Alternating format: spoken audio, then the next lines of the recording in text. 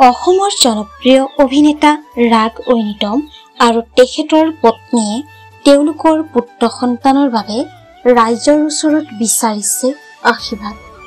নমস্কাৰ বন্ধু বান্ধৱীসকলে স্বাগতম জনাইছোঁ আপোনালোক সকলোকে মোৰ অন্য এটি ভিডিঅ'লৈ।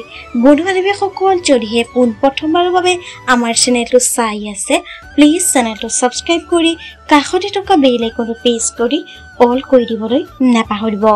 বন্ধু বান্ধৱীসকল পোনপ্ৰথমে এটা কমেণ্ট কৰি জনাবচোন।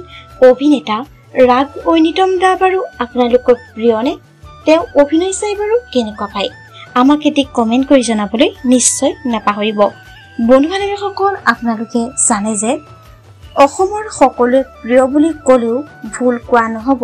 কিয়নো ৰাগ ঐনিতমৰ অভিনয়ে দৰ্শকৰ মন মোহিবলৈ সক্ষম হৈছে।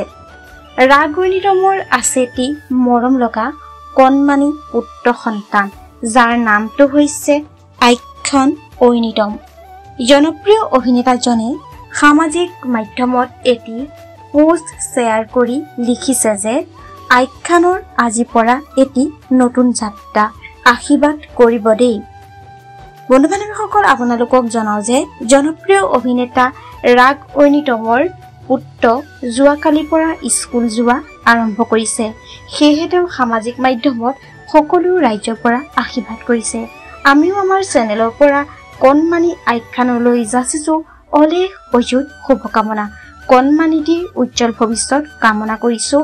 অনাগত দিনত সি ভাল মানুহ হওক বন্ধু বান্ধৱীসকল আপোনালোকে খবৰটো পাই কেনেকুৱা পালে নিশ্চয় এটা কমেণ্ট কৰি জনাব। আজিলৈ আছিল ভিডিঅ'টো ইমানখিনি। আশা কৰিলোঁ আপোনালোকে ভিডিঅ'টো চাই ভাল পালে।